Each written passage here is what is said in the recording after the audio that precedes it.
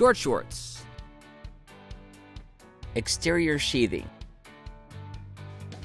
A lot of factors that contribute to energy efficiency and the durability and even moisture control in a home have to do with a sealed building envelope.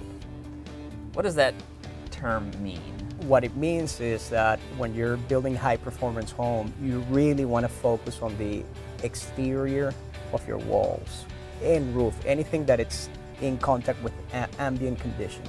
Uh, specifically, we chose uh, the Huber R board, and what it is, you're holding a cross section of the product. This is your OSB that it's being treated with a weather resistive barrier, okay? Mm -hmm. And then it's got on the back a one inch uh, rigid foam insulation. So this product, it's giving us two benefits. One, it's reducing what it's called the thermal bridging, making the home better insulated. What I personally like about this is that then you come in and once you install your boards, all those seams, you come in and you tape it, mm. okay?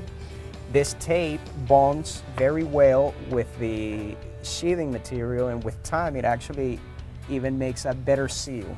So this addresses thermal bridging, better insulation, and the tape plus this uh, addresses air sealing.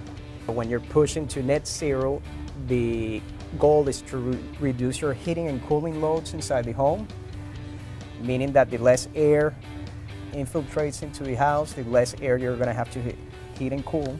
So this helps us achieve that.